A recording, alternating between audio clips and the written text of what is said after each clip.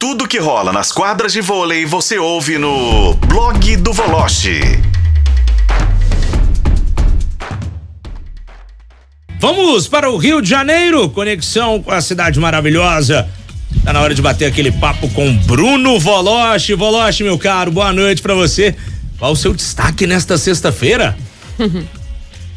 Oi, Rafa. Boa noite para você, boa noite, companheiros, ouvintes da FM O Tempo.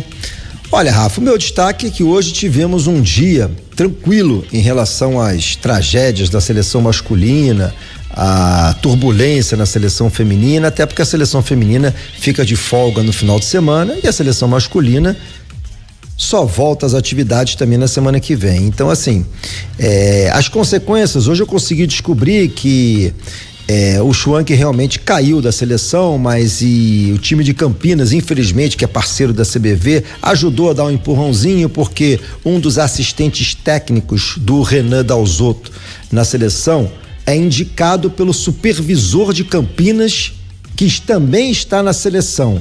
E aí pediu um favorzinho, pô, dá uma promoção pro cara, o cara é bom. Para, ah, então tá bom. Mas quem vai sobrar? Ah, tira o Schwank, então. Então aí tiraram o Schwank. então é assim que tem funcionado a coisa na seleção. É, pois é. Pois é. É por isso que eu coloquei aquele título lá, cabide de emprego. E aí vai a seleção. É, aí conversei rapidamente com a Buba. O Abuba opa, quase, pé da vida, e me disse o seguinte: é, porra, Bruno, você sabe como é que os caras me cortaram da seleção? Falei, como? Nota oficial da imprensa. Não tive um agradecimento, um oi do Renan, pô, obrigado, até a próxima, não. Eu sou pela imprensa, eu ia me apresentar e sou pela imprensa. Meu então, assim, é complicado. Sabe o que, que, isso é, é, é demonstra, Dilmar e Lélio? Falta de profissionalismo, né, Desmando, cara? uma série de coisas. Né? Total, né? porque é. fora daqui, é, onde as coisas são levadas com um pouquinho, um pouquinho mais, né, uhum. né, de seriedade, certamente isso não aconteceria. Agora o cara fica sabendo de dispensa por, no, por comunicado da imprensa. Não, e com certeza é. o pessoal que ligou pra ele falou: você vai falar o que disso? Ele, oi? Como houve? assim? Eu não tô sabendo. É, tipo o marido ou a mulher traída, é. né? O último a saber. É, ah, não, tem um detalhe: triste. o Abuba foi o primeiro pivô dessa crise envolvendo Renan Schwank, por quê? Porque essa famigerada Copa Pan-Americana, que o Schwank dirigiu a seleção e conseguiu perder para os universitários do Canadá na decisão, é. o Schwank falou o seguinte: Poxa, Renan, é, eu preciso levar o Abuba como oposto. Pô, deixa eu levar o Abuba, eu vou levar o Abuba e o Open Cost, que vou revezar os dois. Né? Não, o Abuba vai precisar do Abuba, cara. Abuba não dá para levar, não. O Abuba precisa dele. e aí? Ele não levou o Abuba que cortou a buba. Organizados.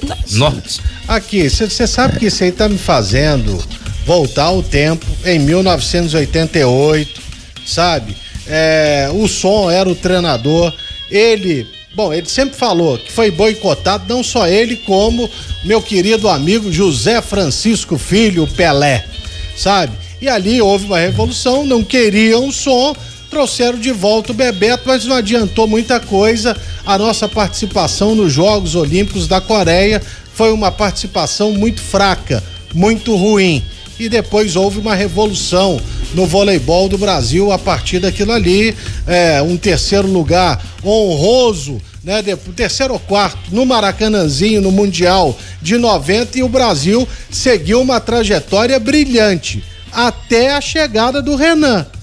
E isso que o Bruno fala, traz aqui, é muito sério. Pô, vamos tirar o Schwank, pô, coloca o camarada lá, o chegado meu. É então quer dizer que é. nós vamos voltar aos anos 80, né? Onde o vôlei era semi-profissional, os camaradas trabalhavam, né? Eles não eram profissionais, eles trabalhavam durante o dia, treinavam durante a noite e ali havia uma ajuda de custo para defender o Brasil né? E para defender os seus clubes também. Então, tá me preocupando. É. Se não há um cara para enxergar, e já vou falar muito claro, meter o pé na bunda do Renan e, e de todos que estão do lado dele, é. olha, nós vamos comemorar o é. oitavo lugar. E se for, hein, Valoche, para os Jogos Olímpicos de é. Paris, hein? É verdade. Agora, Lélio, o Renan é um dos responsáveis. Para mim, o maior responsável chama-se Radamés Latari Filho. Porque nessa época que você citou, nós tínhamos Nusman e depois tivemos o Ari. Esses caras botavam o pau na mesa e falavam: ah, vou cortar fulano. Peraí, peraí, pera. vai cortar por quê?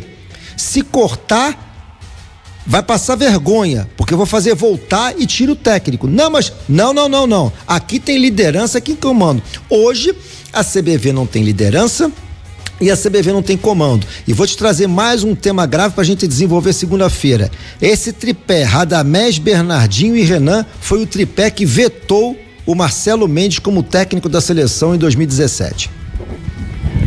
Que beleza, hein? Por isso que a gente vê que o, o rumo que tomou o voleibol brasileiro, né? Sim, e aí fica Nossa. de exemplo, né? Volote, Lélio, Rafa, a gente não pode esquecer nunca, né? O que aconteceu com o basquete brasileiro, né? Eu acho que ele é um exemplo muito claro Uhum. do que a gente está vendo caminhar o vôlei.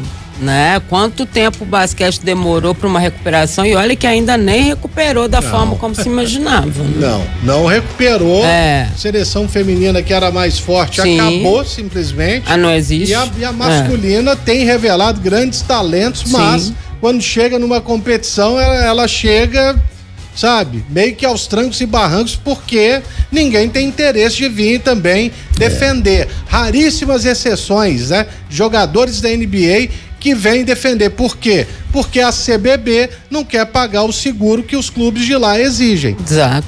Né? E a gente tá vendo o vôlei caminhando aí pelo mesmo, né? Mesmo rumo. Mesmo rumo. Falando em basquete rapidamente, é, o Brasil hoje venceu o Canadá no- na Copa do Mundo de basquete Sim. e foi contra tudo e contra todos, tá? Porque a juizada tentou ali no final da partida, né? Arrumaram uma presepada danada, invertendo posse de bola que era pro Brasil, deram pro Canadá, fizeram de tudo pro Canadá tentar vencer o jogo, a verdade é essa. E o Brasil foi lá e venceu a É, eu vi seleção o finalzinho do canadense. jogo. É. Sinistro, hein, Eu vi o Voloche? finalzinho do jogo. Agora, sabe qual, é, sabe qual é a sensação que eu tenho, Rafa, quando a gente vê esse time do basquete do Brasil?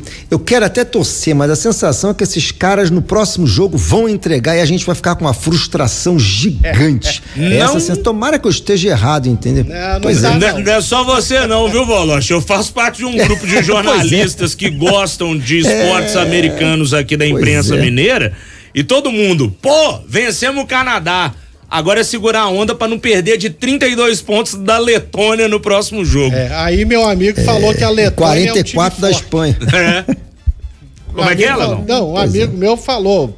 Grande Felipe Miranda, conhece tudo de basquete. É, Léo, a Letônia é um time bom, ganhou da Espanha, viu?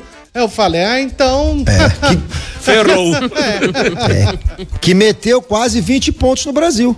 pois é. A Exatamente. Espanha. Eu nem sabia que a Letônia jogava basquete, gente. Pô, É. A verdade é, essa. Pra, ô Valoche, pra gente finalizar, sua expectativa pro jogo do final de semana. Amanhã É, tá tem Botafogo aqui, e. Flamengo. Podia mandar o Renan pra Letônia. Hã? Desculpa, pensei alto aqui. Pra treinar Escapuliu, basquete. Escapuliu, escapuliu. É, ô Rafa, eu amanhã vou no jogo do Botafogo, viu? É, eu vou assistir lá, eu vou o Newton Santos assistir Botafogo e Flamengo, vou chegar um pouquinho mais cedo, vou levar capacete, vou levar tudo, vou ficar na área da imprensa lá, pra não ter problema, vou chegar um pouquinho mais cedo.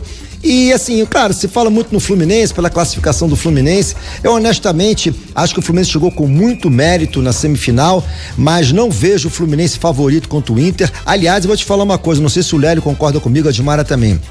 Dos quatro semifinalistas da Libertadores, sinceramente, 25 para cada um. Eu vejo muito, mas muito equilíbrio. E expectativa para saber o que vai acontecer com o Vasco, com o seu Bahia no fim de semana, né, Rafa? É, briga de foice no escuro, viu, meu pai? É. O bicho vai pegar lá, viu, meu irmão? Pois é. É, mas E vamos ver como é que vai estar o Gabriel amanhã, né, no Newton Santos, né? Se vai estar fininho.